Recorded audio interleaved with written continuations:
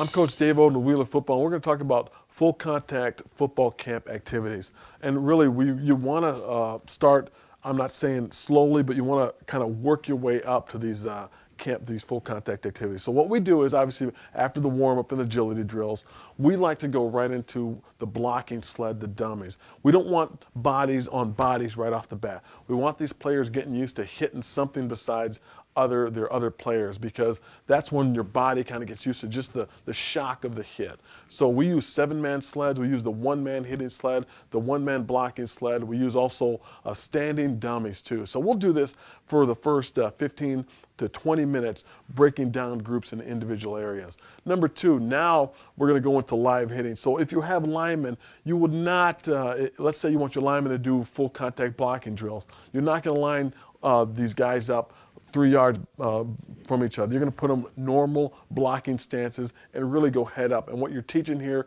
is getting used to the full contact, but also how to use your hands. If you have running backs, you want your running backs getting used to what it's like to get hit with the ball. So what you'll do is you'll have running backs on one side, and then you'll have linebackers on this side where, boy, linebackers are going to learn how to hit and tackle into the hole. So you're getting one player getting used to how getting hit while running the ball. You're getting another player used to tackling the guy with the ball. So you're, you're really killing two birds with one stone there with your linebackers and running backs. That's a big high collision activity. You run that for about 10 minutes and really be careful because these kids now, they hit, hit each other so hard, you don't want your players getting hurt, but it's excellent to get your body used to it.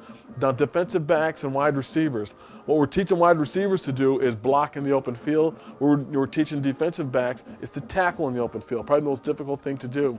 So we'll do a drill where we'll do a toss sweep with the running back.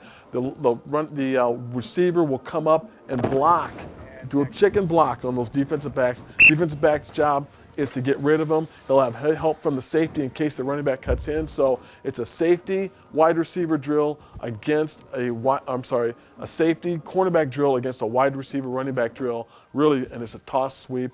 We're learning how to come up, make uh, tackles in the open field. That's another great uh, live tackling drill as well. So uh, I'm Coach Dave Oden. Those are a few of my favorite uh, full contact uh, football camp drills that we use here at Wheeler Football.